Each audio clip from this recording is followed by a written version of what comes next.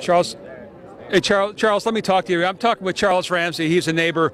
Uh, walk me through again what happened this afternoon. You, were, you, you heard screaming. Heard screaming. I meet my McDonald's. I uh, come outside. I see this girl going nuts, trying to get out of her house. So I go on the porch. Okay. I go on the porch, and she says, "Help me get out. I've been, I'm, I've been in here a long time."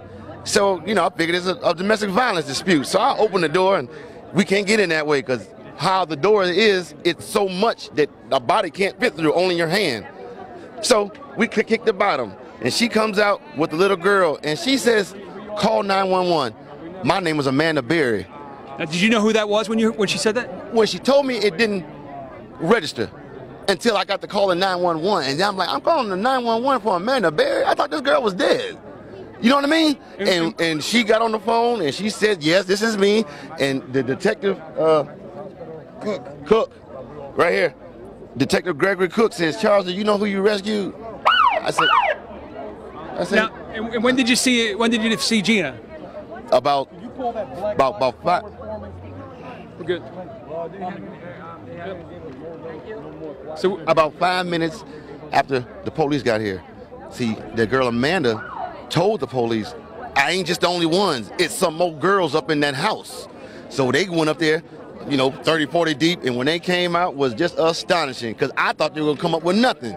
I figured, I mean, whoever she was, and like I say, my neighbor, uh, you, you got you got the, some big testicles to pull this off, bro. Because we see this dude every day.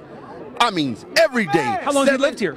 I've been here a year. Okay. You see where I'm coming from? Right. I barbecue with, with this dude. We eat ribs and, and whatnot and listen to salsa music. You see where I'm coming from? and you had no indication that there was Not anything. a, going on. bro, not a clue that that girl w- was in that house or anybody else was in there against their will. Because how he is is I just, he just comes out to his backyard, plays with the dogs, tinker with his cars and motorcycles, goes back in the house. So he's somebody that you look and you look away because he's not doing nothing but the, the average stuff. You see what I'm saying? Ain't nothing exciting about him. Well, until the day. What was, what was the reaction on the girls' faces? I can't imagine to see the sunlight to be around Bro. I knew something was wrong when a little pretty white girl ran into a black man's arms. Something is wrong here. Dead giveaway. Dead Charles, giveaway. Charles, thank you very much. Dead giveaway. Thank you very much for your uh, time. And either she homeless or she got problems. That's the only reason why she run to a black man.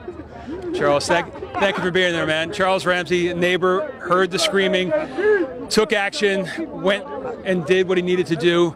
The rest is unfolding before us here on Seymour. I'm going to send it back to you. Every day.